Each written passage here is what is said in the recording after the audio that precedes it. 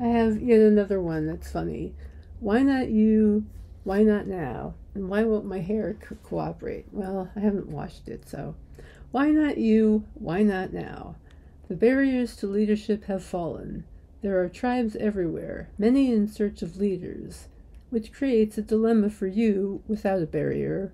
Why not begin? Uh, simple example 10 years ago, if you wanted to publish a book, you needed a publisher that would say yes. No publisher, no book. Um, I'll get back to that in a second. Today, of course, you can publish a book all by yourself. Just visit lulu.com and you're and you're done.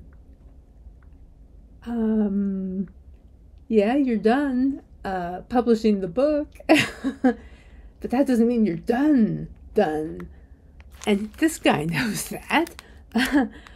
also, um, you know, self-publishing existed before there were th- these things called ebooks, believe it or not. I know someone who self published back in the days before ebooks. He published his own print books. He even got nominated for an Edgar because he published them under the name of his own imprint, and they thought it was a traditional publisher.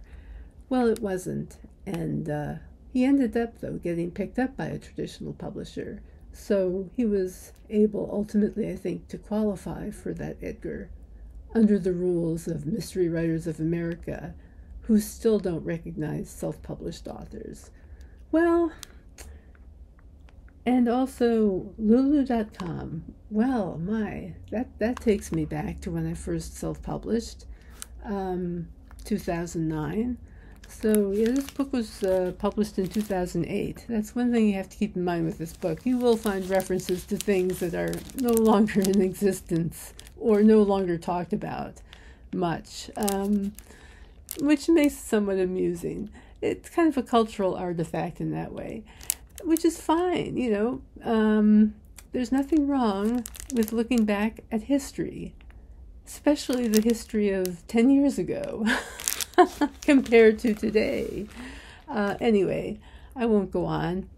Uh, I'm, I'm having fun reading this, as you can tell, and I think everybody should read it. It's a great book.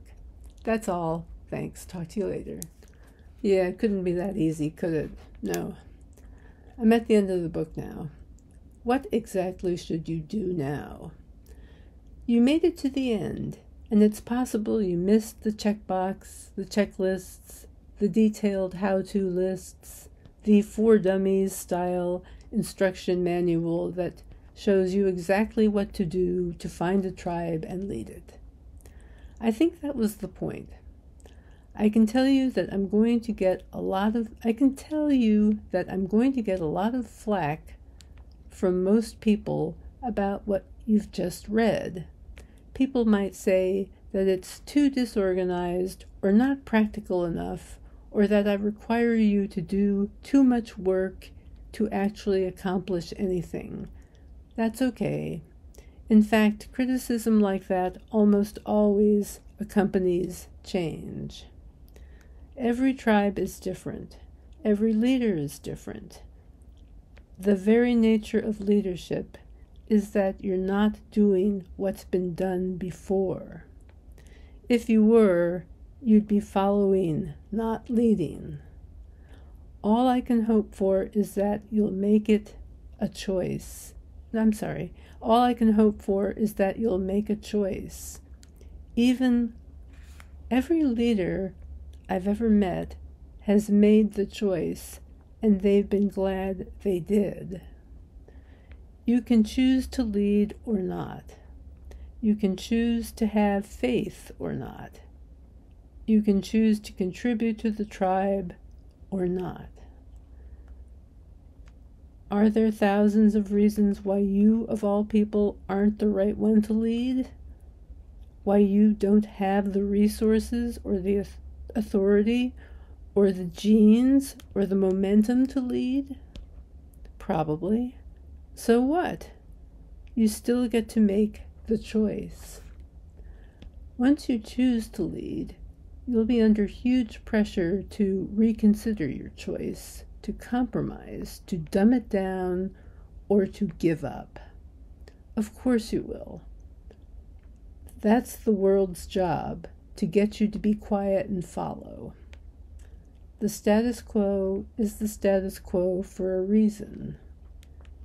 But once you choose to lead, you'll also discover that it's not so difficult, that the options available to you seem really clear, and that yes, in fact, you can get there, here, from here to there.